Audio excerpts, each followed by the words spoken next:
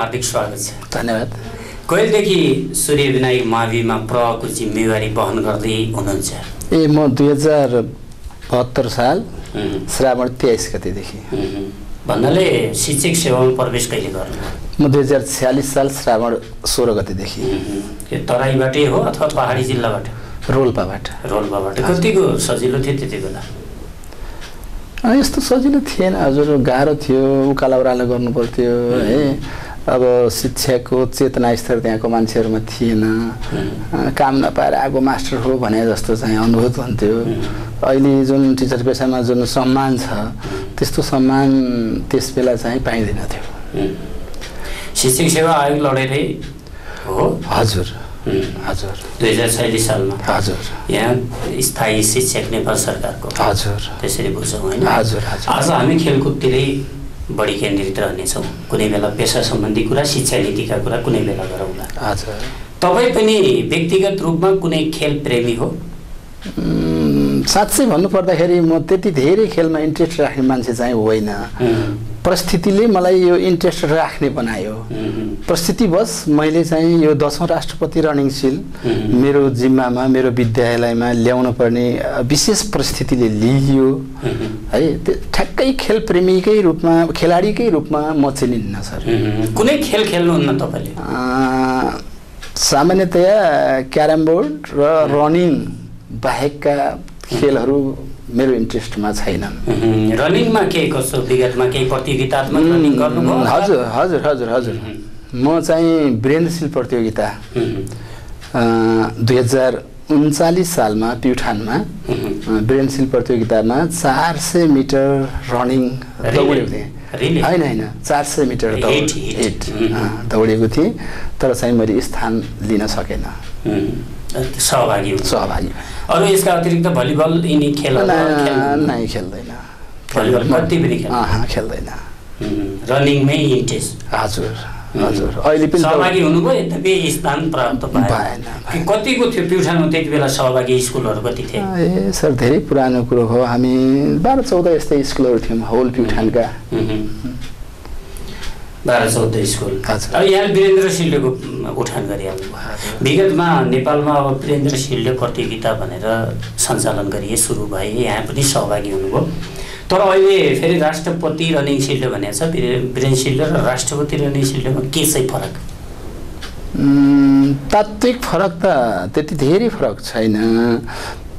वीरेन्द्रशील प्रतियोगिता मलाई याद भएसम्म जिल्ला स्तरमा हुन्थ्यो। जिल्लामा एउटा जिल्लाभरिको खेलाडीहरूलाई ग्यादर गरिन्थ्यो स्कुलहरूलाई ग्यादर गरिन्थ्यो र गरिन्थ्यो। राष्ट्रपति रनिङशील त्यस्तो छैन क्षेत्र स्तरमा निर्वाचन क्षेत्र स्तरमा हुन्छ। एउटा अन्तर म यो देखेँ। अनि अर्को अन्तर हजुरलाई भनिरहन पर्दाखेरि उम्, वीरेन्द्रशील प्रतियोगितामा गेमहरू अलि अलि कम हुन्थे। केही कम हुन्थे अहिले गेमको सङ्ख्या अलि खेल सङ्ख्या खेल सङ्ख्या बढेको छ. र विद्यालयहरूको सङ्ख्या पनि बढ्नका कारणले क्षेत्रमा पुगेको छ। के हो यो शासक अथवा शासकीय प्रणाली फेरबदल भएरै हो नाउँ फेरबदल भएको कि कस्तो हो? त्योभन्दा तात्विक अन्तर छैन। त्यही हो त्यस्तै हो हजुरले भनेको जस्तै हो। अब अहिले शासकीय स्वरूप त्यो नामको मात्रै फरक हो भन्ने बुझ्दा हुन्छ सर। मैले यसको फरकमा त मैले भनिहालेँ। केही खेलहरूमा थपघट भइराखेको छ अनि क्षेत्रहरू साना ठुला भइराखेका छन्। तर नाम त तत्कालीन चाहिँ ब्रेनसिल राजा वीरेन्द्रको नामबाट अहिले अब राष्ट्रपति राणीसिल यति बेला यहाँ आयोजक स्कुलको जिम्मेवारी पाउनु भएको छ। आयोजकको जिम्मेवारी पाएको हो कि जिम्मेवारी लिएको हो? यो आयोग आयोजकको जिम्मेवारी एकजनाले लिनुपर्ने हुन्छ। त्यो खेलको अन्तिम दिन कसै न कसैले त्यो गेमको झन्डा पकाउनु पर्ने हुन्छ। है गत वर्षको खेलको अन्तिम दिन केही साथीहरूले मलाई प्रेरित पनि गर्नुभयो। तपाईँसँग फिल्ड छ। हामी सबैले सहयोग गर्छौँ। है तपाईँ लिनुहोस् सर। भनेर प्रेरित पनि गर्नुभयो र त्यही प्रेरणाले मैले त्यो चाहिँ झन्डा पक्ड्न पुगेँ यद्यपि म खेलाडी होइन जिम्मेवारी तपाईँले लिनुभएको नि हो ल्याएको। साथीहरूले जिम्मेवारी दिनु पनि खोजेका खोजेका मैले लिएको पनि। झन्डा भन्नाले त्यो नौ- राष्ट्रिय। के अरे राष्ट्रपति रनिङ प्रतियोगिताबाट झन्डा तपाईँले प्राप्त गर्नुभयो। हजुर त्यसको अन्तिम गोबडियाबाट। अनि फिल्ड छ भन्नुभएको छ। हजुर। फिल्ड के कस्तो सबै गेमहरू सञ्चालन गर्न पर्याप्त फिल्ड स्कुलकै छ अथवा कसैसित माग्नु पर्याप्त त पूर्ण त म संसारमा कुनै वस्तु देख्दैन सर। है पूर्ण छैन। तर म सबै खेलहरू हाम्रै फिल्डभित्र खेलाउने जमर्को गरिराखेको छु। प्रयत्नरत छु। अब हेरौँ उन्नाइस गतेदेखि खेल सुरु हुन्छ। कति सकिन्छ कति सकिन्न। आयोजकमा प्रेरित हुनुभयो र साथीहरूले पनि ल आयोजक तपाईँ बन्नुपर्छ अथवा सूर्य विनायक मावि आयोजक बन्नुपर्छ भनिरहँदा आयोजक हुनुको फाइदा चाहिँ के छ? केही फाइदा देख्नु भएको छ? त्यस्तो ठ्याक्कै भौतिक रूपमा फाइदा आर्थिक रूपमा फाइदा जस्तो त म केही पनि देखिनँ। तर विद्यालयको नामलाई स्थापित गर्न यसले सहयोग पुर्याउँछ नम्बर एक। नम्बर दुई विद्यालयमा उपस्थित भएका सम्पूर्ण बच्चा बच्चीहरू हाम्रा छात्र छात्राहरू जो छन् उनीहरूले खेल त आवश्यक चिज रहेछ। यस्ता यस्ता खेल हुँदा रहेछन् भनेर सबै खेल प्रत्यक्ष देख्न पाउँछन् त्यो फाइदा। र समुदायका मानिसहरू जो गाउँमा हुनुहुन्छ उहाँहरूले पनि नजिकमा खेल भयो भने नजिकबाट निहालेर हेर्नुहुन्छ र खेल पनि आवश्यक रहेछ खेल्नु पर्दो रहेछ भन्ने खालको उहाँहरूमा चाहिँ विश्वास जाग्छ र भोलि भोलिका दिनमा हाम्रो विद्यालयबाट पनि राष्ट्रलाई दखल गर्ने खालका राम्रा क्षेत्रमा जिल्लामा खेल्न सक्ने खालका खेलाडीहरू उत्पादन गर्न सकिन्छ जसले चाहिँ राष्ट्रलाई एउटा सक्षम खेलाडीहरू दिन्छ। हामीले यो दसौँ राष्ट्रपति रनिङ सिलमा अ, यसो मूल नारा पनि दिएका छौँ। स्वास्थ्यको लागि खेलकुद र राष्ट्रका लागि खेलकुद भन्ने मूल नाराका साथ चाहिँ हामी यो खेल आयोजना गरेका छौँ। यो नारालाई सफलीभूत गर्नका निम्ति पनि यो आयोजना आवश्यक थियो र छ। अहिलेको नारा स्वास्थ्यका लागि खेलकुद राष्ट्रका लागि खेलकुद। भन्ने नाराका साथ दसौँ राष्ट्रपति रनिङ सिल्ड प्रतियोगिता सम्पन्न गर्न गइरहेको छ। के कस्ता खेलहरू समावेश गर्नुभएको छ? खेलका इभेन्ट्सहरू मुख्य रूपमा तिन प्रकारका खेलहरू हुँदो रहेछन्। जिल्ला खेलकुद विकास समितिले हामीलाई दिएको सेड्युल अनुसार त्यो सेड्युलमा एउटा एथलेटिक्स खेल र एउटा भलिबल र एउटा कबड्डी। यस्तो छ। छुट्टै ग्रुपको हुन्छ। हजुर हजुर हजुर हजुर। कबड्डी छात्र छात्रा भलिबल छात्र छात्रा र एथलेटिक्समा समावेश भएका खेलहरूमा हन्ड्रेड मिटर दौड two hundred metre four hundred eight hundred अनि फिफ्टिन हन्ड्रेड र हजुर अनि तिन हजार मिटर। यो दुइटै छात्र छात्रातर्फ त्यसपछि चाहिँ रिले दौड हुन्छ सय इन्टु चार र चार सय इन्टु चार। यो पनि छात्र छात्रातर्फ नै हुन्छ। अनि त्यसपछि फ्याँक्ने उफ्रिने मध्ये हाई जम्प छ लङ जम्प छ ट्रिपल जम्प छ अनि ज्याभलिङ थ्रो छ र सटफुट छ। यसरी सबै खेल जोड्दा तिसवटा खेल छन्। जम्मा जम्मी खेलहरूको सङ्ख्या तिसवटा छ। र यो तिसवटा खेल हामीले चाहिँ उन्नाइस गतेदेखि तेइस गतेभित्र खेलाउने जमर्को गरिराखेका छौँ। तेइसवटा खेल। तपाईँ आयोजकको हैसियतले केही खेल थप्न पाउने अधिकार राख्नुहुन्छ? छैन त्यस्तो व्यवस्था छैन। छैन। अब आयोजक राष्ट्रहरू जस्तै अब साउदी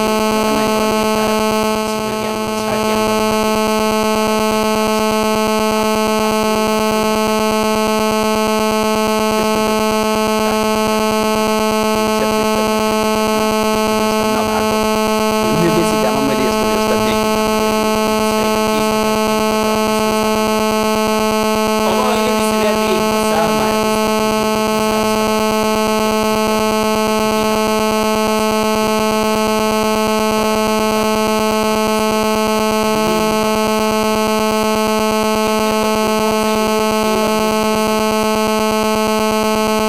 मैले यसभन्दा अगाडि नै भने, म त्यति धेरै खेलप्रेमी नभएको मान्छे।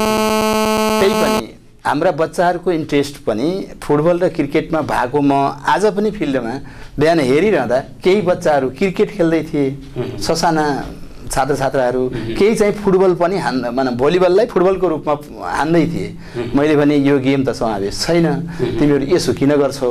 समावेश भएका गेमहरू खेल न। सिकिन्छ अलिअलि भए पनि भन्ने कुरा मैले गरेँ। मलाई पनि भित्र हृदयदेखि के लागेको छ भने मैले यस्तो कुरा गरिसकेको त छैन तर त्यो जिल्ला खेलकुद विकास समितिका पदाधिकारीहरू वा खेलप्रेमी मान्छेहरू खेलाडीहरू जो आउनुहुन्छ जिल्लाका कर्मचारीहरू उहाँहरूलाई यो सुझाव दिने मनसाय चाहिँ मेरो छ। यी यस्ता खेल मान्नुहुन्छ होइन क्रिकेट र फुटबल पनि यो राष्ट्रपति सिलमा अँ। खेल्नुपर्छ खेलाइनुपर्छ आवश्यक हो। आवश्यक। आवश्यक हो.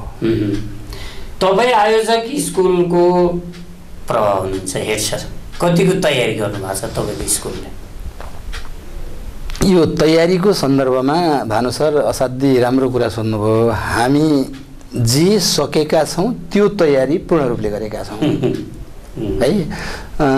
तर हामीलाई अग्रिम अनुभव चाहिँ छैन। अग्रिम अनुभव नहुनुको कारणले धेरै कुराहरू नपुगेको हुनसक्छ। थुप्रै कुराहरूको अभाव हुनसक्छ। र मुख्य रूपमा अब आर्थिक अभाव त छँदैछ हाम्रो निजी स्रोतको विद्यालय हो।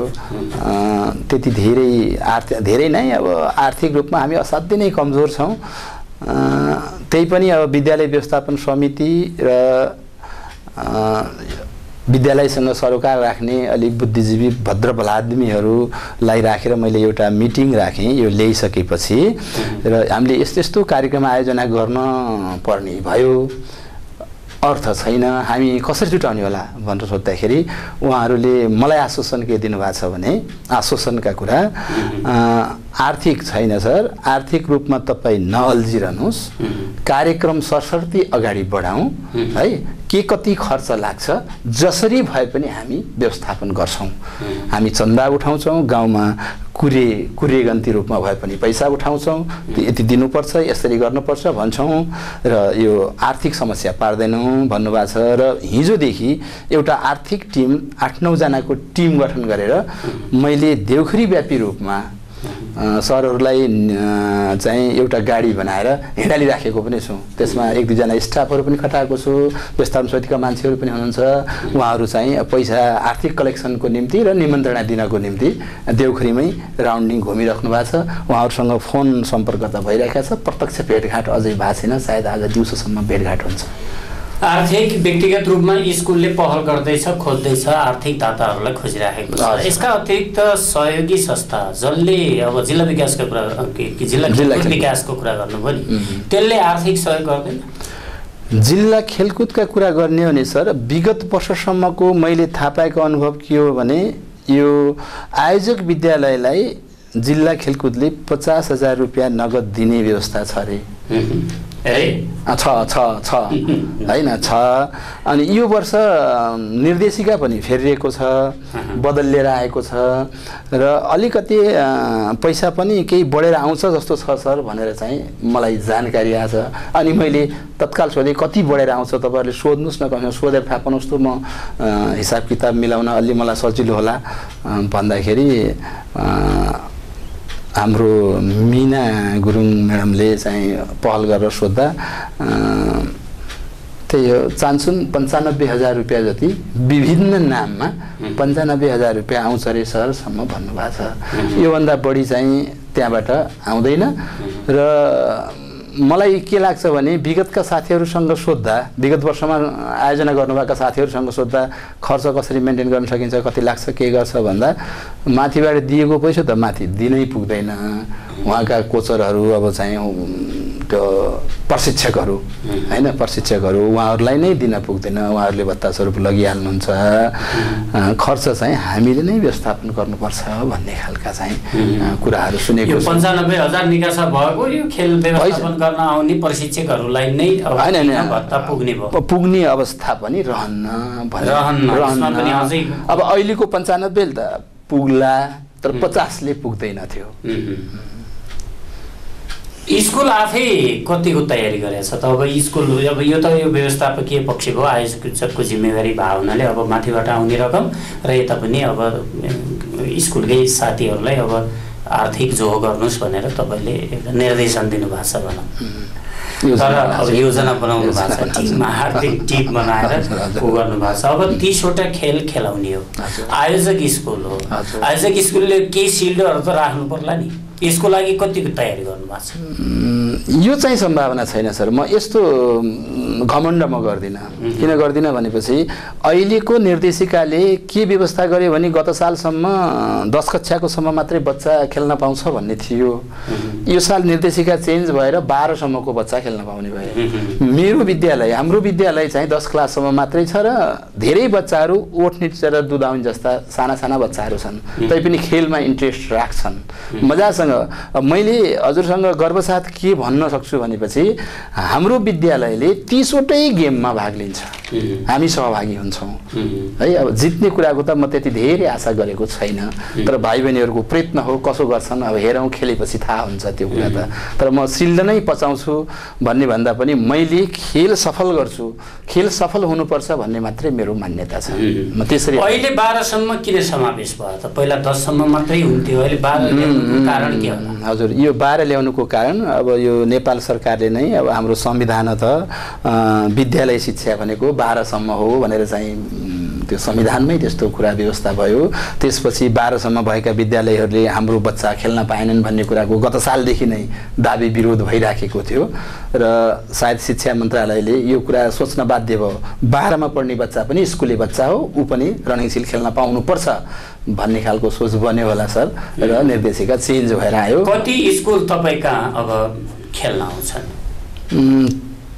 अहिलेसम्म मैले निमन्त्रणा गरेको र मलाई जानकारी भएको कतै छुटेका त हुन सक्छन्। म छुटेकै छैनन् भन्न सक्दिनँ तर सायद छुटेनन् कि म सबैसँग छलफल गरेको छु।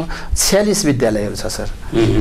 एक नम्बर क्षेत्र अन्तर्गतका छ्यालिस माध्यमिक विद्यालय एक नम्बर क्षेत्र अन्तर्गतका छयालिस विद्यालय मध्ये रामपुर लक्ष्मीपुरको आधार धर्ना पनि हो हो।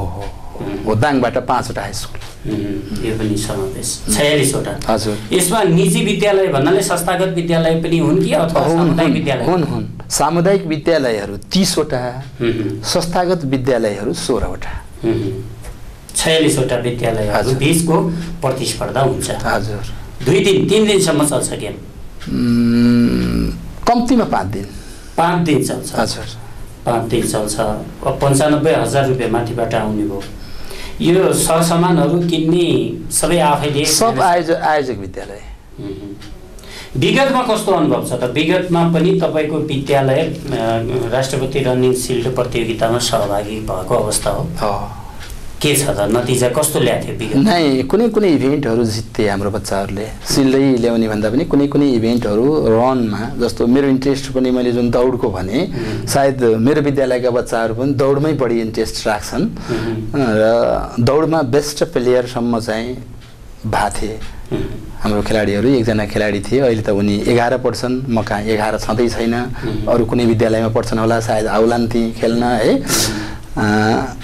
उनीले चाहिँ दौडमा जति दौडमा भाग लिए भाग लिन नियम त पाइन्थ्यो ती सबै दौडमा उनी नेभर सेकेन्ड भए। जहाँ खेल्थे उनी फर्स्ट नै हुन्थे। त्यही भएर बेस्ट प्लेयर चाहिँ ल्याउन पनि सफल भएको थियो हाम्रो विद्यालय। बेस्ट प्लेयरसम्म ल्याउन सफल भएको थियो। थोरै हिँडेर शारीरिक समस्या आउने त होइन। अब दसमा पढ्ने र बाह्रमा पढ्ने हुन त आठ नौ दस पहिला पनि सहभागी हुन्थ्यो के अरे सातभन्दा माथि नै सस्तो धर्म विवाह पूजा पार्टी विज्ञापन र कार्यक्रम खिच्न परे राप्ती दर्पणलाई सम्झनुहोला फुल एचडी क्यामेरा र एचडी मिक्सिङ सहित सेवा दिन हामी तयार छौँ। राप्ती दर्पण टिभीका सम्पर्क नम्बरहरू जिरो बयासी पाँच चालिस तिन सय तेइस अन्ठानब्बे पाँच अठहत्तर चालिस शून्य शून्य आठ र अन्ठानब्बे जिरो बैसठी सडचालिस चार सय अठार।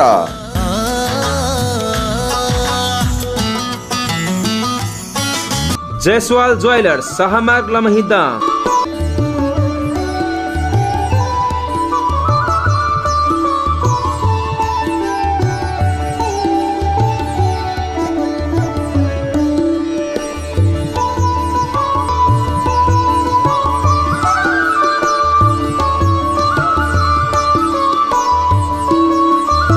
विगत एक्काइस वर्षदेखि विभिन्न व्यापारमा सफलता हासिल गर्दै आइरहेकोमा थप नयाँ व्यवस्थापनका साथ दाङ जिल्लामै पहिलो पटक उत्कृष्ट सुनचाँदी पसल। अब तपाईँ हाम्रै सुन्दर नगरी लमाई बजारमा हाम्रा विशेषताहरू चौबिस क्यारेट बिना रसायनको गहना पसल विभिन्न नयाँ तथा पुराना डिजाइनका गरगहना खरिद बिक्री साथै सट्टीपट्टी पनि गरिन्छ।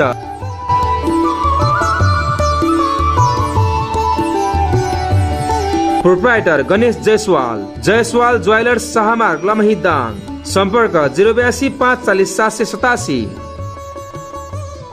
दाङ जिल्लाको देउखरी उपत्यकामा रहेको एकमात्र रमणीय शान्त सुन्दर पारिवारिक cottage bamboo Rapti river cottage Lamahi नगरपालिका छ मध्यनगर देउखरी दाङ हामी कहाँ राप्ती नदीको ताजा माछा लोकल कुखुरा लोकल हाँस बदिया भाले हार्ड ड्रिङ्क सफ्ट ड्रिङ्क नास्ताका सम्पूर्ण आइटमहरू ढिँडो लोकल खाना उपलब्ध गराइन्छ।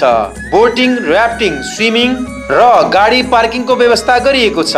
राप्ती नदीको माछा बिक्री वितरण गरिनुको साथै रेगुलर आउने ग्राहकलाई दस पर्सेन्ट छुटको व्यवस्था।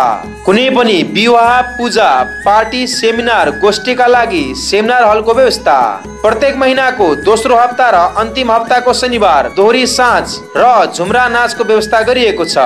प्रार्थी पशुपति गौतम दीपक थापा हेमराज आचार्य हरि श्रेष्ठ। मोबाइल अन्ठानब्बे चार तिरानब्बे सन्तानब्बे चार सय तिरानब्बे एउटै छाना मुनि वैकल्पिक पद्धतिबाट सम्पूर्ण रोगको उपचार। हाम्रा सेवाहरू। प्यारालाइसिस पक्षघात मुख बाँगिने बात तथा हाड जोड्नेको दुखाइ युरिक एसिड काट जाम भएको कुहिनाको दुखाइ। नसा च्यापिएको हड्डी खिएको फ्र्याक्चर पछिको जोड निजाम बाल अपाङ्गता। पेट सम्बन्धी ग्यास्ट्रिक अल्सर पाइल्स पिसाब तथा पत्थरी दम एलर्जी रुगाखोकी कपाल झर्ने थाइरोइड सम्बन्धी समस्या तथा मानसिक समस्या यौन दुर्बलता तथा प्रजनन सम्बन्धी समस्या। महिला तथा पाठीगढ सम्बन्धी समस्या सेतो पानी बग्ने महिनावारीको गडबडी पाठीगढमा मासु पलाएको। पाठीगढले ठाउँ छोडेको। बिस्तारमा बच्चालाई पिसा फेर्ने सम्बन्धी समस्या। माइग्रेन टन्सिल बढेको। नाकमा मासु पलाएको। सेतो दुबी मुसा पुरानो दाँत बकबकाउने बिना अपरेसन गर्दन तथा कम्मरको नसा च्यापिएको समस्याको उपचार साथै पाइल्स पत्थरी शरीरमा उब्जेको गाँठा गुटीको सही निदानसँगै उपचारको व्यवस्था। नसा सम्बन्धी रोग होइन एकदमै गाह्रो अवस्थामा थियो पहिला। अनि म यो बुद्ध स्वास्थ्य उपचार केन्द्रमा आएर म निको भएँ होइन। निरन्तर म यहीँ गरिरहेको छु एकदम राम्रो छ यहाँको औषधिहरू उपचारहरू सम्पर्क बुद्ध स्वास्थ्य उपचार केन्द्र प्राली तथा अर्घाखाँची होमियो फार्मा मिलनचोक बुटुवल आठ फोन शून्य एकहत्तर पाँच त्रिचालिस तिन सय चौवालिस मोबाइल अन्ठानब्बे चार एकहत्तर साठी तिन सय एकासी र अन्ठानब्बे चार सत्तरी सडचालिस सात सय छियानब्बे।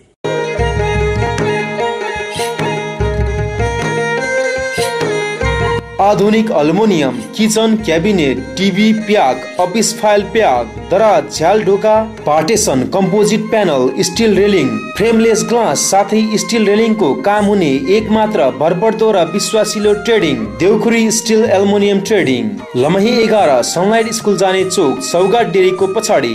बाह्र वर्षसम्म स्वदेश र विदेशमा काम सिकी आउनुभएका दक्ष तथा अनुभवी कालीगरद्वारा जस्तोसुकै डिजाइनका स्टिल एल्मुनियमका घर डेकोरेसन सम्बन्धी काम गरिन्छ।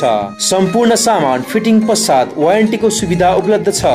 इच्छा अनुसार धेरै प्रकारका स्वदेशी र विदेशी क्वालिटीका सामानहरू निर्माण गर्न सकिने। एक मात्र विश्वासिलो Deukhuri steel aluminium trading. Lamahi एघार सनलाइट स्कुल चोक सौगा डेरीको पछाडि। हामी कहाँ? काठको चौकसमा एल्मुनियमको पल्ला पनि बनाइन्छ। सञ्चालक भरतमणि महरा अन्ठानब्बे पाँच अठहत्तर चालिस सात सय उन्नाइस। वासुदेव गौतम अन्ठानब्बे पाँच अठहत्तर चालिस सात सय पचास। एसबी चौधरी अन्ठानब्बे पाँच अठहत्तर चालिस सात सय अठार। सबिन गौतम अन्ठानब्बे पाँच अठहत्तर चालिस एक सय छप्पन्न। होटल इबरल्यान्ड भालुबाङ बजारदेखि दुई सय मिटर अगाडि बुटोल जाने रोड भालुबाङ देउखरी दाङ। राप्ती नदीको काखमा अवस्थित स्वच्छ तथा पारिवारिक वातावरण भएको एक मात्र hotel.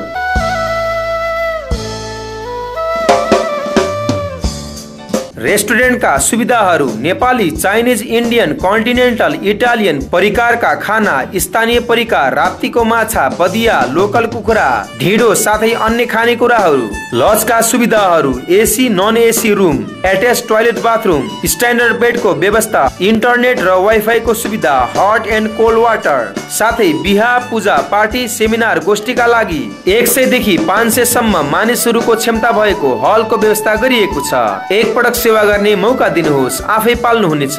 Hotel Everland Bhalubang Deukhuri Dang. सम्पर्क जिरो बयासी पाँच अस्सी एक सय पचहत्तर मोबाइल अन्ठानब्बे पाँच दस चौरानब्बे एक सय पैँतिस र अन्ठानब्बे चार उनासी तेह्र जिरो उनानब्बे। Website W W W dot Everland hotel dot com. त्यो सबै हुन्थे पाँच अब छदेखि माथि नै समावेश हुन अ, पाउँथे दसले बाह्रसित लड्दा अथवा त्यो अलिकति समस्या। त्यो त छ। त्यो पक्कै पनि छ। त्यो पक्कै पनि छ। हाम्रा बच्चाहरू यही मानेमा अहिले निराश हुन खोज्छन्। तर मैले उनीहरूलाई सम्झाइ बुझाइ के गरेको छु नि भाइ बहिनीहरू हामी आठ क्लाससँग पनि त खेले हो दसको मान्छे आठसँग खेले हो आठ त तम तयार भएर आयो नि। त्यस कारण हामी बाह्रसँग लड्न पनि तयार हुनुपर्छ लड्न सक्नुपर्छ र अनुशासित हुनुपर्छ। जित हार भन्ने कुरो खेलेपछि एक चिज हुन्छ जितमा मात्रै चाहिँ राम्रो देख्ने होइन हारेर पनि खेल सिक्न सकिन्छ भन्ने कुराको प्रशिक्षण दिने ढाडस दिने काम चाहिँ मैले गरिराखेको छु र थुप्रै सहभागी विद्यालयहरू विद्यालयहरू जहाँ चाहिँ दस क्लास मात्रै छ त्यहाँको सरहरूले यो त भएन हामीलाई अन्याय भयो भनेर चाहिँ मलाई भन्नुहुन्छ। तर यो मैले गरेको अन्याय होइन यो त निर्देशिकाले गरेको कुरा हो राष्ट्रले गरेको कुरा हो राष्ट्रको नीति नियमले गरेको कुरा हो यो कुरालाई हामीले सहजै डाइजेस्ट गरेनौँ भने हामी चेन्ज हुन सक्दैनौँ सर। यो एउटा चेन्ज हो। यो एउटा परिवर्तन हो भनेर चाहिँ मैले बुझेको छु. अब प्रशिक्षणको व्यवस्था के कस्तो हुन्छ त? प्रशिक्षकहरू कहाँबाट आउँछन्? अथवा सबै तिसवटा गेमको लागि त प्रशिक्षक पनि त चाहिएला नि हजुर हजुर। मैले मुख्य रूपमा हिजो जिल्ला खेलकुद विकास समितिको अध्यक्ष के डाँगी? आउनुभएको थियो हुँ। उहाँसँग भेट भएको थियो। दिल्ली डाँगी अनि उहाँसँग मैले के अनुरोध गरेको छु भने मेरो आर्थिक अवस्था कमजोर छ सर हेर्नुभयो विद्यालय यही हो म अहिले जिरो छु आर्थिक रूपमा त्यस कारण यो तिनवटा इभेन्ट मैले जुन भने एथलेटिक कबड्डी र भलिबल यसमा दुई दुईजना दक्ष प्रशिक्षकहरू पठाइदिनु होला सबै चिज जानेको बाँकी चाहिँ हामीले स्थानीय स्तरमा खेलप्रेमी शिक्षकहरू मध्येबाट कसै न कसैलाई हरेक विद्यालयबाट छानेर भए पनि हामी काम चलाउँछौँ। आर्थिक यसले गर्दाखेरि अलिक कम हुन्छ कि भनेर चाहिँ सरसल्लाह गर्दैछौँ गरिराखेका छौँ. आर्थिककै अभावले गर्दा प्रशिक्षक धेरै नपठाउनु होला भन्नु। एकदमै एकदमै एकदमै ठिक हो। र उहाँको सुझाव कस्तो थियो भनेपछि सर प्रशिक्षक कम भयो भने तपाईँको गेम टाइम फेरि लम्बिन सक्छ। टाइम लम्बिँदा पनि खर्च बढ्छ। त्यो कुरा सरसल्लाह गर्दै गर्नुहोला भनेर उहाँले त्यसो पनि भन्नुभएको छ सुझावको रूपमा दिल्ली डाङ्गी सरले। त्यसपछि म ठ्याक्कै के गर्ने भन्ने कुरामा अझ पर्सिदेखि गेम हुने हो। आजसम्म हाम्रो म्याच छ छलफल गर्ने सायद भोलि दिउँसोसम्म पनि हामी छलफल गरेर उहाँलाई कल गऱ्यौँ भने त्यही अनुसारको व्यवस्था हुन्छ। किनभने हाम्रो त्यो जुन आर्थिक अब जिल्लाबाट न नआए पनि अपु प्रशिक्षकहरू अथवा आर्थिकको जो हो आर्थिकलाई व्यवस्थापन गर्नका लागि यहीँबाट पनि प्रशिक्षकको व्यवस्था गर्न सक्नु सक्नु हजुर हजुर। स्थानीय विद्यालयहरूबाट सरहरू। अब एउटा अब क्षेत्र विस्तार भएको हुनाले उताको पाँचवटा स्कुल पनि थप्ने भयो। हजुर। एउटा समस्या त्यो पनि आउने त्यसले त्यसले पनि आर्थिक भार त पार्ने भयो। त्यो पाँचवटा स्कुलले मात्रै होइन सर। देवगुरी नै दुईवटा निर्वाचन क्षेत्रमा थियो. लालमटिया सिसनिया हामी। भनेपछि होल देवखुरी.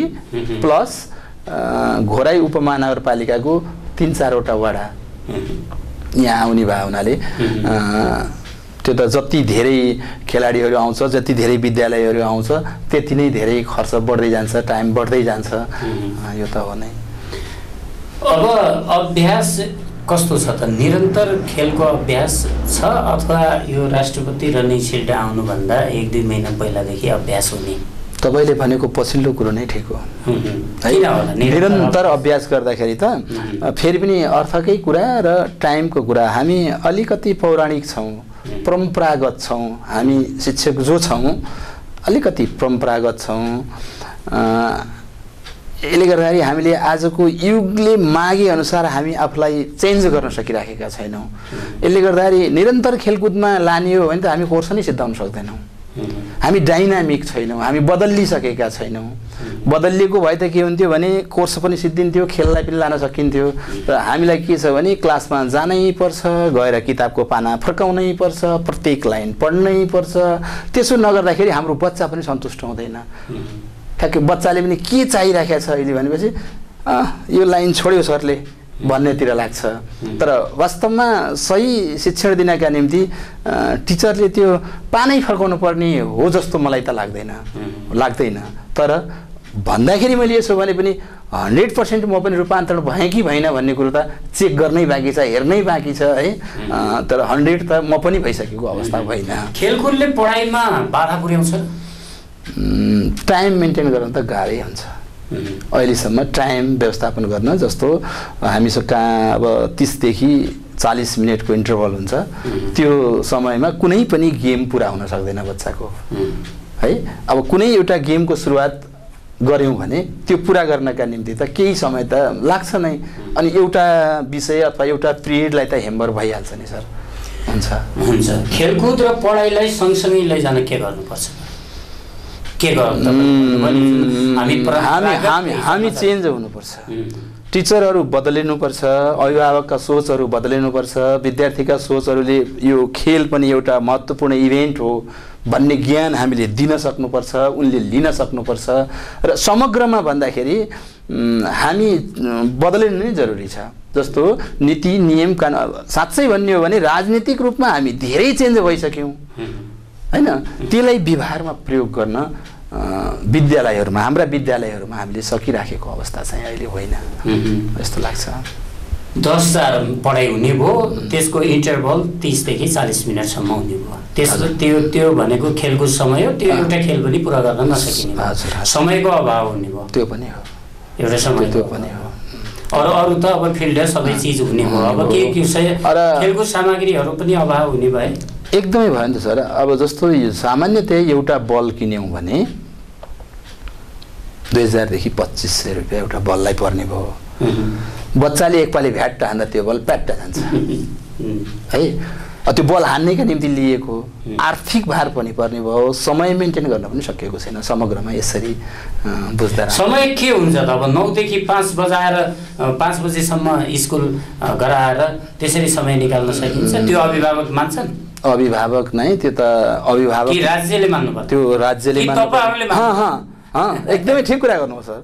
सबभन्दा पहिले त राज्यले मान्नुपर्ने अनि राज्यका हामी कर्मचारीहरू शिक्षकहरूले मान्न पर्ने अहँ। अनि अभिभावकले मान्न पर्ने बच्चाले मान्न पर्ने है अब कसले सुरु गर्ने भन्ने कुरा हो सर यो- यो सन्दर्भमा कसले सुरु गर्ने? त्यस कारण माथिबाटै अहिलेसम्म हामी माथि हेरेरै हाम्रा दिनाचार्य बिताउने सोच छ ऊ सरकारले के गर्छ उसले के गर्यो कहाँ के भयो माथि माथि हेर्ने आफूलाई नहेर्ने प्रवृत्तिका हामी छौँ।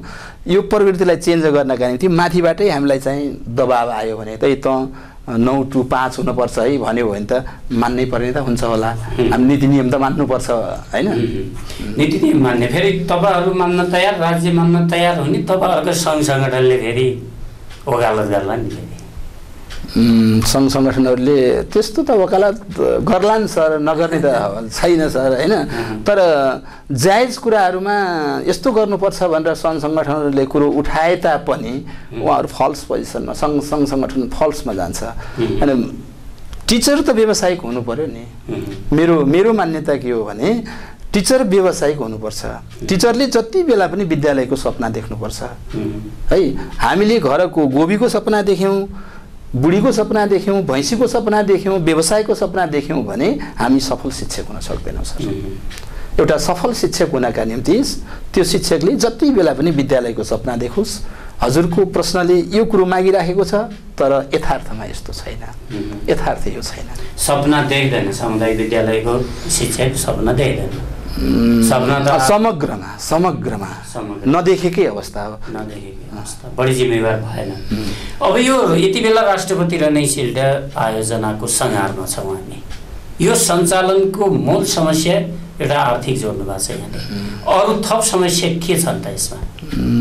अब म आफूलाई सोध्नुहुन्छ भने विज्ञको समस्या छँदै हुँदै भयो। म आफै खेलाडी होइन मैले भनिहालेँ।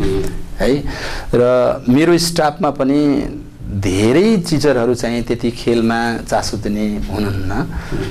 यद्यपि तिन चारजना शिक्षकहरू मरिमेटी लाग्नु भएको छ फेरि। है तिन चारजना शिक्षकहरू लाग्या हुनाले हामीलाई त्यो जनशक्तिकै अभाव। स्टाफ थोरै छ जनशक्तिकै अभाव भइराखेको छ र मैले आजै पनि केही विद्यालयका केही सरहरूलाई कल गरेर प्लिज मैले भने तपाईँ आइदिनुहोस्।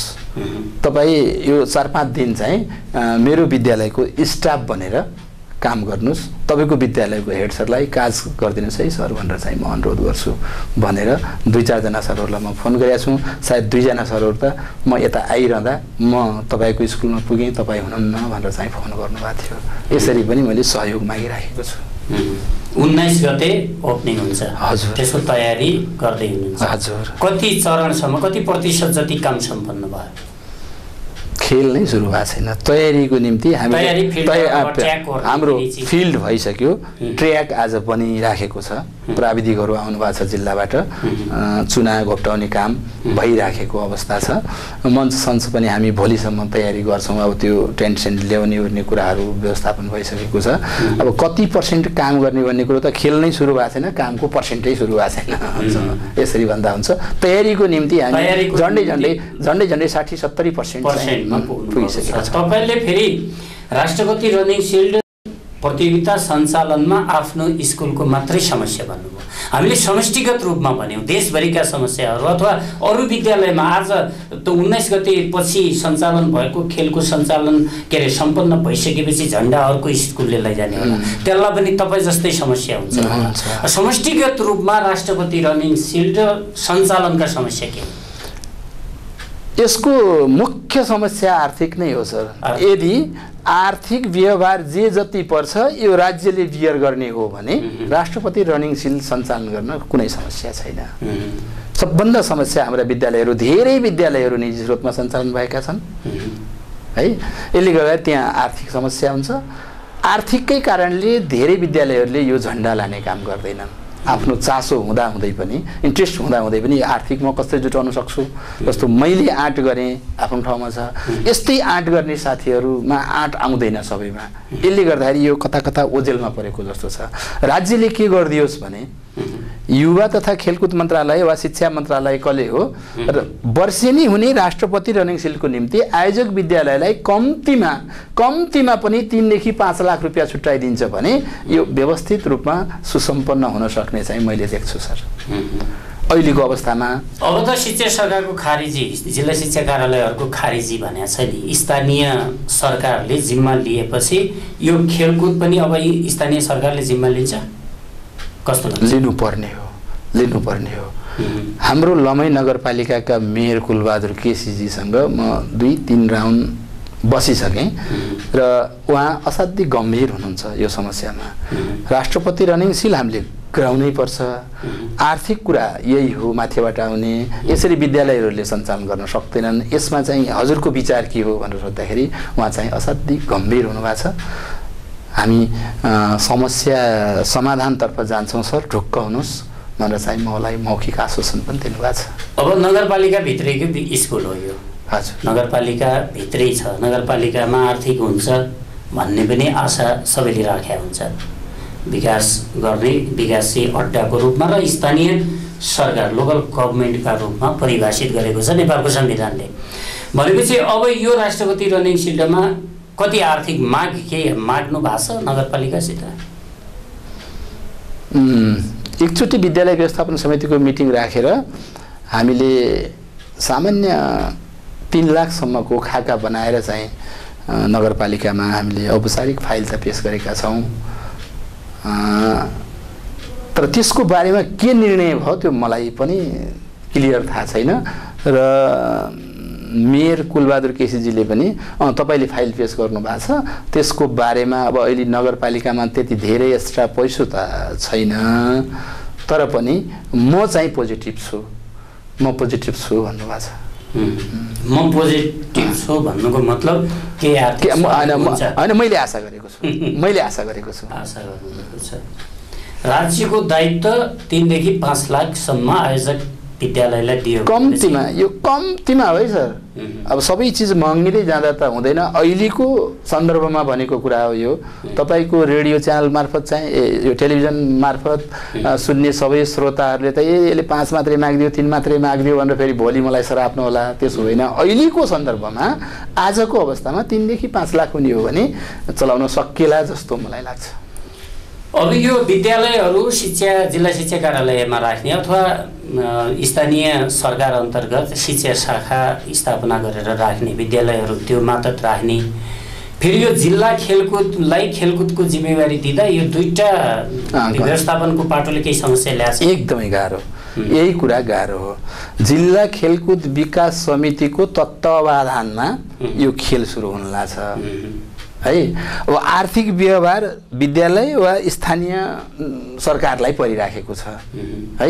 यो के भइरहेको छ भने धान खाने मुसो चोट पाउने भ्याउतो अनि? नाम मात्रैको लागि जिल्ला खेलकुद विकास समितिलाई किन जोड्नु पर्ने त? उहीबाट अब यो हाम्रो यो कानुनी जटिलता होला सर यसमा। वास्तवमा यो कानुनी जटिलता हो। सबै कानुनहरू नबदलिसकेको वा बदलिएका कानुनहरू पनि स्थानीय स्तरमा स्थापित नभइसकेको अवस्था। यो मैले यसलाई के भन्छु भने भानु सर छोटकरीमा यो सङ्क्रमणकालीन अवस्था हो। जिल्ला खेलकुद विकास समिति पनि भइराखेको स्थानीय सरकारमा चाहिँ अधिकार पनि आइपुगेको। तर कसले कति गर्ने कसले गर्नुपर्ने कसले नगर्नुपर्ने भन्ने अवस्थाको त्यति क्लियर नभइसकेको अवस्था हो कि भन्ने लाग्छ। सबभन्दा ठुलो समस्या भनेको आर्थिकै हो। आर्थिक भयो भने प्राविधिक पनि उत्पादन गर्न सकिन्छ। उसरी त अब सबै विद्यालयहरूमा खेल टिचरको नाममा त छन् नि होइन। शिक्षकहरू नियुक्त भएको छन् खेल टिचर भने तपाईँले भने जस्तो छैन सर। खेल टिचर भनेर नियुक्ति हुने व्यवस्था नै छैन। अहिलेसम्म। किन होला राज्यले छुट्टै एउटा गेम टिचर भनेर अथवा खेल शिक्षक भनेर प्रत्येक स्कुललाई दिए पनि त? अहिलेसम्म त राज्यले सोच्नै नसकेको कुरो त होला किन सोचिराखेको छैन? हाम्रो प्रेसर पुगेन कि? अथवा खेलप्रेमी शिक्षकहरू त विभिन्न विद्यालयहरूमा प्रेमी शिक्षकहरू त हुनुहुन्छ नि म पो खेलप्रेमी भएन। है? उहाँहरूले अलिक बढी प्रेसर गर्न नसके हो कि राज्यको ध्यान त्यहाँ नपुग्या हो कि खेलतिर तर विद्यालयहरूमा खेलकुद टिचर भनेर छैन। हामी जबरजस्ती विद्यालयको टिचरहरू मध्येको कुनै एउटा टिचरलाई त गेम टिचर। त अलिअलि इन्ट्रेस्ट गर्छस् त गेम टिचर होस् है भनेर चाहिँ जबरजस्ती भिराइन्छ। होइन? त्यसलाई छुट्टै केही विद्यालय केही केही छैन केही छैन केही छैन केही केही मेरो विद्यालयको जस्तै प्र भए मार्फत दुई चार सय रुपियाँ केही। पाँच सय रुपियाँ महिना। महिनामा पाँच सय रुपियाँ राज्यले दिन्छ सर। जिल्ला हाई- स्कुलको सन्दर्भमा पाँच सय। निमावि आठ क्लाससम्मको सन्दर्भमा तिन सय र त्योभन्दा तल्लो स्कुलहरूमा दुई सयका दरले प्रभत्ता भनेर दिन्छ। अब त्यो त फोन खर्च पनि हुँदैन। अब तिन सय दुई हजुर, दिनु यही हो सर। त्यसैले हो व्यवस्थापन गर्ने। जे जे प्र भनेकै त्यही हो। प्र भनेर अतिरिक्त मसलन्द पनि केही आउँछ? विद्यालयहरूमा मसलन्द त आउँछ नि सर किन नआउने मसलन्द आउँछ तर त्यो प्रलाई भनेर आउँदैन नि। मसलन्द भने प्रको होइन नि सर।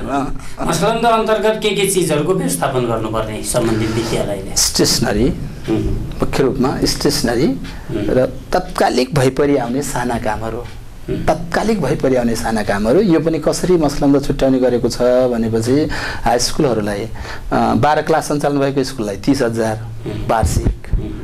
दस क्लास सञ्चालन भएकोलाई पच्चिस हजार। आठ क्लास सञ्चालन भएकोलाई बिस हजार। र त्योभन्दा तलकोलाई पन्ध्र हजार। मसलन्द भनेर वर्षमा एकचोटि नेपाल सरकारबाट भनौँ राज्यबाट त्यो पैसा आउँछ। त्यो पैसा अब चक डस्टर मसी कलम कापी कागज फोटोकपी आदि इत्यादि होइन? यस्तै त व्हाइट बोर्ड मार्करमा मसी चाहिन्छ। मार्करै किन्नुपर्छ सर। चकभन्दा अझ महँगो छ। व्यवस्था त महँगो छ नि। महँगो छ। मसलन्द त्यो महँगाई अनुसार मसलन्द केही बढेको अवस्था? समष्टिगत रूपमा राज्यको ध्यान शिक्षा क्षेत्रतिर नजानुको कारण के हो? यो राज्यको ध्यान शिक्षा क्षेत्रतिर पर्याप्त नपुगेकै हो?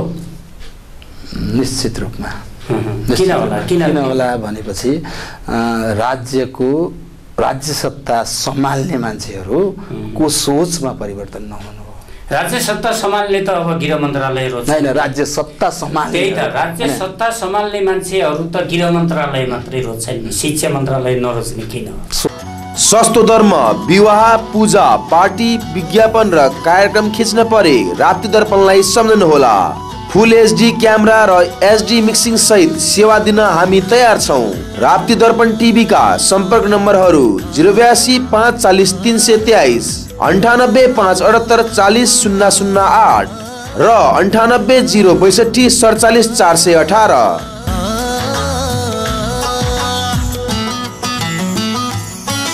देउखरीकै सस्तो फेन्सी पसल। Lumbini fancy store, Koilabas road, film hall, chowk, Lamahi Dang. अफ्तार की दावत का इस तरह मज़ा लेना। अफ्तार की दावत का इस तरह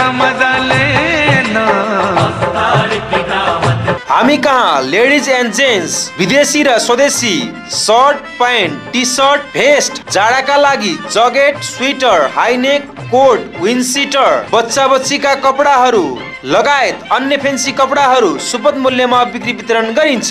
चाडपर्वको अवसरमा विशेष छुट उपलब्ध गराउनुको साथै सम्पूर्ण कपडा थोक तथा फुटकर मूल्यमा बिक्री वितरण गरिन्छ। सञ्चालक नवाब अली र अस्मिता खातुन।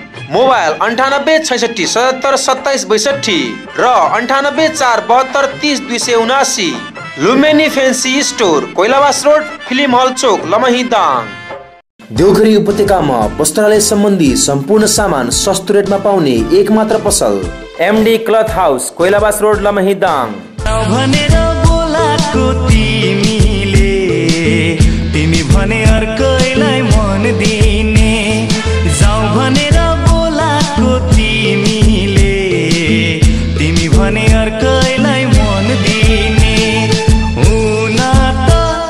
हामी कहाँ? सम्पूर्ण किसिमका साडी कडाई साडी फेन्सी सुरुवाल कुर्ता लेहेङ्गा चोली अम्रेला सुट बुटिक ब्लाउज साथै सटिङ सुटिङ सम्बन्धी सम्पूर्ण सामानहरू सुपथ मूल्यमा बिक्री वितरण गरिन्छ।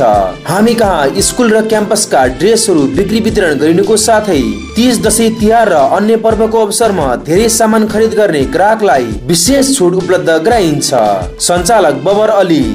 MD cloth house Koilabas road Lamahi Dang एक पटक आउनुहोस् सदैव आउनुहुनेछ।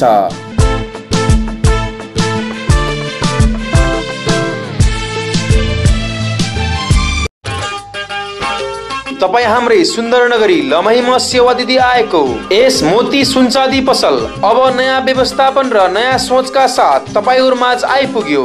हरेक पटक सेवा गर्ने मौका दिनुहोस्।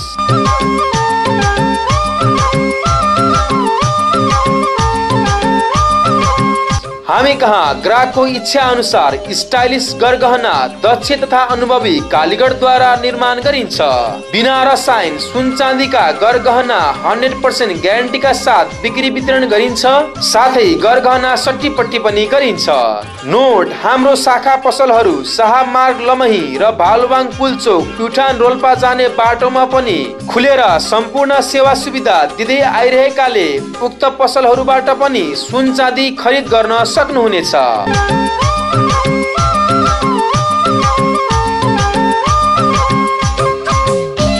सम्पर्क जिरो बयासी पाँच चालिस पाँच सय। मोती सुन चाँदी पसल कोइलाबास रोड लमही दाङ। न्यौपाने एल्मोनियम तथा स्टिल पसल। राप्ती गाउँपालिका एक भालवाङ पुलचोक। के भयो भयो? तिमीलाई देखे पछिल्लो न। के तिमीलाई हामी कहाँ? एल्मोनियमका झ्याल ढोका पार्टेसन तथा स्टिल रेलिङका सम्पूर्ण कामहरू सुपथ मूल्यमा गरिन्छ। सञ्चालक वासुदेव न्यौपाने मोबाइल अन्ठानब्बे पाँच दस बहत्तर तिन सय पचहत्तर। न्यौपाने एल्मोनियम तथा स्टिल पसल Bhaluwang Dang Naveen fancy and Rekha beauty parlour Lamahi पाँच सम्पाली मार्केट भवन देवपुर रोड दाङ अब रेखा ब्युटी पार्लर सब्जी मन्डी लमहीबाट छम्पाली मार्केट भवनमा सरेको जानकारी गराउन चाहन्छौ। हामी कहाँ? बच्चा बच्चीका कपडा ladies gents jacket vest pant kurti सुरुवाल sweater high neck one piece ladies ब्यागहरू सुपथ मूल्यमा बिक्री वितरण गरिन्छ। ब्युटी पार्लर सम्बन्धी facial hair cutting hair straight threading दक्ष तथा अनुभवी ब्युटिसियनद्वारा गरिन्छ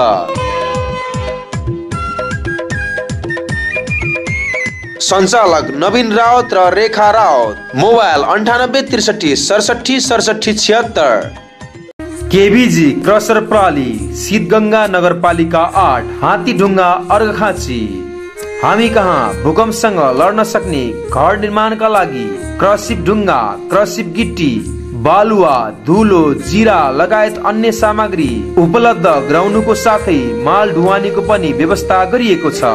सञ्चालक जयप्रकाश बंसल पुरुषोत्तम भूषाल भरतराज न्यौपाने मोबाइल अन्ठानब्बे पाँच अठहत्तर चालिस दुई सय एकाउन्न केबिजी क्रसर प्रणाली शीतगङ्गा नगरपालिका आठ हात्तीढुङ्गा अर्घाखाँची।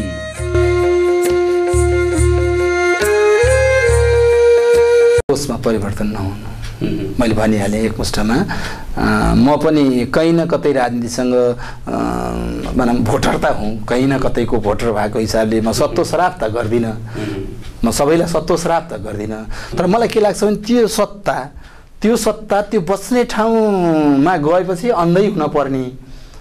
शिक्षक नेता शिक्षा मन्त्री हुँदा शिक्षकका मागहरू सम्बोधन गर्न नसक्ने कुराहरूको पीडाबाट त धेरै वर्ष हामी गुज्रिसक्यौँ। धेरै यस्ता मन्त्री शिक्षा मन्त्रीहरू हामीले बदलिसक्यौँ जो शिक्षकका नेता हुनुहुन्थ्यो। तर त्यहाँ पुग्दा नहुने। यो के हो? तर मलाई के लाग्छ भनेपछि नेपालको समग्र शिक्षा क्षेत्र चाहिँ नेपालले चलाएको भन्दा पनि विदेशी डोनरहरूबाट चलेको छ। आफै आत्मनिर्भर चाहिँ अर्थतन्त्र शिक्षा क्षेत्रमा प्रयोग हुने पैसा आत्मनिर्भर रूपमा चाहिँ राज्यले खर्च गर्न सकेको छैन। त्यस कारण डोनरले जे भन्छ त्यही मान्छ तपाईँ राज्य सत्ताको त्यो बागडोर सम्हाल्न हाम्रो भानुस्वर पुग्नुभयो भने पनि सायद त्यही गर्नुहुन्छ कि भन्ने मलाई लाग्छ। अब हेर्नुहोस् त अरू ऐनहरू अ, कानुनका कुरा अरू कुरा गर्नुपर्दा थोरै मात्र संशोधन भएका छन् धेरै कामहरू भएका छन्। र शिक्षा ऐन नौ पटकसम्म संशोधन भइसकेका छ। तर पनि उल्लेखनीय विकास भएको छैन। यहाँ नियमको अभाव हो कि अथवा नियतको अभाव के के ठान्छ नै यो नियतमा पनि केही खोटहरू त छन्। नियमकै सन्दर्भमा भन्नुहुन्छ भने अहिले भइराखेको छ सर। अहिलेको नेपालको शिक्षा कसरी चलिराखेको छ भनेपछि दुई हजार अठाइसको ऐनले चलेको छ। होइन शिक्षा ऐन दुई हजार अठाइसको मातहतमा रहेर मैले चाहिँ काम गरिराखेको छु वा शिक्षामा काम गर्ने मान्छेले कुनै पनि कर्मचारीले यसरी काम गरिराखेको छ। अहिलेको 2064 सालमा- अहिले चौहत्तरमा छौँ हामी। अठाइसले परिकल्पना गरेका कुराहरू चौहत्तरमा आएर मिलाउन खोज्दा कहीँ पनि तिनी फिट हुँदैनन् सर। सबै चिजहरू अपाङ्ग भइसके। तर हामी त्यो अठाइसलाई खारेज गर्न संशोधन गर्नुपर्ने शिक्षा ऐन संशोधनले हुन्छ अथवा शिक्षा ऐनको खारेज गरेर नयाँ शिक्षा ऐन लागू गर्नु? नै मेरो विचारमा भन्नुहुन्छ भने त खारेज हुनुपर्छ। खारेज। खारेज हुनुपर्छ। अठाइसको ऐन खारेज हुनुपर्छ समय सापेक्ष ऐन बन्नुपर्छ र ऐन अनुसारको नियमावली बन्नुपर्छ र त्यो नियमावली र ऐनमा टेकेर हामीहरू चल्नुपर्छ। बल्ल शिक्षामा केही चेन्ज लिन सकिन्छ। शिक्षामा परिवर्तन चाह। चाहने नै हो भने। उम्। शिक्षामा परिवर्तन चाहनाका लागि सामुदायिक विद्यालयका शिक्षकहरूलाई रासनको व्यवस्था गरेर ब्यारेक सिस्टममा राख्दा के हुन्छ? सकिन्छ? तपाईँ काम गर्न सक्नुहुन्छ? व्यक्तिगत रूपमा त मैले सक्छु सर। व्यक्तिगत रूपमा म एक परिकल्पना व्यवस्था मैले। मैले सरलाई अगाडि नै भने म जबसम्म व्यावसायिक टिचर हुन सक्दैन मेरो पेसा भनेको शिक्षण हो भन्न मैले सक्दिनँ। भित्रैदेखि त्यो बेलासम्म शिक्षा क्षेत्रमा आमूल चेन्जको कल्पना गर्न सकिन्न। किनभने मेरो व्यापार छ। मेरो राजनीति छ। मलाई कुनै पार्टीले झोला बोकाइदिया छ। म उसको आडमा मैले नपढाए पनि भइराखेको अवस्था छ। राजनीति पार्टीको आडमा मैले नपढाए पनि मेरो जागिर जाँदैन। मलाई कसैले केही गर्न सक्दैन। म थाई टिचर हुँ अथवा म शिक्षक भइसकेँ भन्ने खालका यस्ता महत्त्वाकाङ्क्षाहरू आम शिक्षकहरूमा हुनु र गलत शिक्षकलाई राजनीति संरक्षण हुनु। यो पनि शिक्षा क्षेत्रमा विकास नहुनुको एउटा कारण हो। अहिले त सङ्घ सङ्गठन विघटन भएर महासङ्घको अवधारणा आयो भन्छ नि के हो। विघटन भए हुन् कि अथवा त्यो के किन महासङ्घ आयो होइन सर विघटन आयो भन्छ नि छाता सङ्गठनको रूपमा महासङ्घ त आयो तर हाम्रा सङ्घ सङ्गठनहरू जस्ताको तस्तै छन्। पुरानै अवस्थामा छन् छन् छन् जस्ताको तस्तै छन्। राजनीतिक छाताभित्रै छन्। छन् छन् छन्। एउटा आजको मितिसम्म त ठ्याक्कै त्यही ल। त्यति छ। हामी राष्ट्रपति रमेश सिल्लातिरै लागौँ। अब सुरुको दिन मार्च पास हुने होला। मार्च पासको तयारी के कस्तो हुन्छ अनि प्रमुख अतिथिको जो कसलाई प्रमुख अतिथि बनाउने यिनी सबै कुरा निर्क्योल भएको छ को आउँछ उद्घाटन यो आयोजक समितिको मिटिङ हामी हिजो बसेका थियौँ। आयोजक समितिको सदस्य सचिवको हैसियतले भन्नुपर्दाखेरि हामीले यसपालि प्रमुख अतिथिको रूपमा यो दाङ निर्वाचन क्षेत्र नम्बर एकका सांसद मेटमणि चौधरीलाई प्रमुख अतिथिको रूपमा निम्त्याउने निर्णय गरेका छौँ र उहाँलाई इन्फर्मेसन पनि गरिसकेका छौँ। के छ? आउने हजुर। शपथ ग्रहण होला काठमाडौँमा? बिस गते हो रे के हो? के शपथ ग्रहण आउँछु भन्नुभएको छ। प्रमुख अतिथिको टुङ्गो लागेको छ। यसका अतिरिक्त जिल्ला शिक्षा अधिकारी पनि आउनुहुन्छ। आउनुहुन्छ। मतलब निमन्त्रणा भएको छ आउने नआउने उहाँको कुरा हो। हामी निम्ता गरेका छौँ। अब ड्रेस अनिवार्य हुन्छ स्कुललाई? कस्तो हो? कि आफू खुसी ड्रेसमा खेल्न पाउँछन्। होइन नै विद्यालयको ड्रेस हुन्छ। ड्रेसमै खेल्छन्। विद्यालय विद्यालयले आफ्नो ड्रेस आफै चोइस गरेको हुन्छ। त्यही ड्रेसमा खेल्छन् खेलाडीहरू। अब मूल झन्डा तपाईँले बुझ्नु भएको छ पोरा। हजुर। के छ त्यसमा? लोगो केही छ? त्यो त्यो- त्यो- ओलम्पिकको ओलम्पिक ओलम्पिकको लोगो हो कि जस्तो लाग्छ सर मलाई। त्यो पाँचवटा चुरा। पाँचवटा चुरा भएको झन्डा चाहिँ छ सर। त्यही झन्डा हो मूल झन्डा। बिहान कति बजी हुन्छ उद्घाटन? हामी एघार बजी सबै अतिथिहरूलाई एघार बजी बोलाएका छौँ। फिल्ड कस्तो छ? धुपो छ फिल्डमा अथवा पानी पर्ने अथवा। पानीको व्यवस्था ट्याङ्करको व्यवस्था हुन् गर्नुपर्ने होला फेरि कस्तो छ? यो साल नै खारिएको फिल्ड हो. यसले गर्दाखेरि दुबो छैन। तै पनि ट्वेन्टी फाइभ पर्सेन्ट दुबो पलाएको छ धेरै धुलो छ। हाम्रा केही साथीहरूले लमै नगरपालिकासँग यो के अरे दमकल दमकलले दिनमा एकचोटि गएर यसो पानी छिट्ने पाए पनि ठिकै हुन्थ्यो त्यहाँ धुलो अस्वस्थ हुने भयो भन्ने कुरा राख्नुभएछ। देवस्थान समितिका केही साथीहरूले र नगरपालिकाले त्यो कुरा पनि एग्री गरेका छ अरे। रे म अहिले भर्खर बाटोमा आउँदा आउँदै यो कुरा सुने। तर वास्तवमा के हो भने दिनदिनै त्यो पानी दमकलले छिड्दा त हामी आर्थिक रूपमा त एकदमै घाटा लाग्छ। भनौँ दमकललाई पैसा दिनुपर्छ मैले भने होइन। हाम्रो त्यो चुना दिनदिनै मेटिँदै जान्छ दिनदिनै ट्र्याक बनाउनुपर्छ बहुत समस्या हुन्छ। फेरि चुना खर्च हुने कति हो कति चुना खर्च हुन्छ। यता धुलो कन्ट्रोल अर्को धुलो मासी। मासिने होइन। यसले यो गर्दाखेरि सिल्ड दिने कपहरू यताउता यिनी सिल्डहरू तपाईँले आफै खरिद गर्नुहुन्छ अथवा विगतमा जस्तै रनिङ सिल्डहरू त तिन वर्ष लगातार जित्नुपर्ने त्यसपछि पछि निकै ब्रेल सिल्डको यस्तो थियो नि यसपालि के छ? यसपालिको अवस्था के छ भन्नुहुन्छ भने सर एउटा सिल्ड चाहिँ हाम्रो निर्वाचन क्षेत्रले विगतका वर्षहरूमा बनाएको छ साझा पैसाबाट। सबै विद्यालयको पैसाबाट एउटा साझा सिल्ड बनेको छ र हामीले त्यसलाई स्थानीय स्तरमा के नियम बनाएका छौँ भने जसले जित्छ त्यो सिल्ड लान्छ। लगातार तिन वर्ष जित्यो भने त्यसले त्यो सिल्ड पज गर्छ। फेरि अर्को सिल्ड बनाउला। है। अब तिन वर्ष जित्ने नहुँदासम्म त यही सिल्ड चाहिँ घुम्छ भन्ने हिसाबले एक नम्बर तिन थरी खेलबाटै उत्कृष्ट हुने अङ्क जोडेर, अङ्क जोडेर त्यो। स्कुलले लैजाने हो। हजुर। यो पर्मानेन्ट थाई सिल्ड भनौँ। हजुर हजुर हजुर। हो त्यो। अब गत वर्ष कसले लगाएको थियो त? यो वर्ष। त्यो विद्यालय सिल्ड लिएर आउँछ। सरस्वती मावि गोबरडिया। गत वर्ष गत वर्षको आयोजक पनि थियो र त्यो सिल्ड चाहिँ उसैले राख्न सफल पनि भएको थियो। उसले यो वर्ष त्यो सिल्ड लिएर। आउँछ आउँछ। जसले जित्छ तपाईँले त्यही सिल्ड हजुर। र यति मात्रै होइन। अहिले त हाम्रो दुई नम्बर क्षेत्र पनि यतै गाभियो यसले। दुई नम्बर क्षेत्रको सिल्ड पनि यतै रहेछ। यहीँ देउखुरीमै रहेछ। कुनै एउटा विद्यालयले ल्याएर रहेछ। देउखुरीकै विद्यालयले ल्याएछ अहिले मलाई लाग्छ सायद त्यो दुईवटै सिल्ड चाहिँ हामी कहाँ आउँछन् र जित्नेले त्यो दुईवटै सिल्ड लान्छ। दुइटै एउटै शीर्षकमा दिनुहुन्छ कि एथलेटिक्स टोटल सिल्ड हो ठ्याक्कै ठ्याक्कै फाइनल गरेका छैनौँ तर मलाई के लाग्छ भनेपछि अब त्यो सेकेन्ड विनलाई दिने जस्तो सिल्डर सानो ठुलो त्यस्तो भएछ भने त हामी त्यो मिलाउँला त्यस्तो भएन भने त्यो जो फर्स्ट हुन्छ उसले दुइटै सिल्डर लान्छ फेरि ल्याउँछ फर्स्ट लान्छ त्यो हामीले स्थानीय स्तरमा बनाउने नियम नभयो हाम्रो साझा चाहिँ समझदारी बनाउँछौँ गर्छौँ त्यसमा खासै समस्या अब अब अन्तिम टुङ्गो दिन कहिले मिटिङ बस्नुहुन्छ तपाईँहरू अब त्यस्तो औपचारिक मिटिङ छैन सर। छैन सकिसक्नु अब लगभग तयारीमा। हजुर, हजुर। अब उन्नाइस गते आ चाँडै आ भए हुन्थ्यो भन्ने त्यही छ। त्यही छ त्यही छ त्यही छ। हामी लामो संवाद गऱ्यौँ लगभग समयको अन्त्यतिर पनि पुग्यौँ। अन्तमा यही सेरोफेरोमा यो राष्ट्रपति रनिङ सिल्डकै सेरोफेरोमा रहेर केही यहाँको भनाइ छ।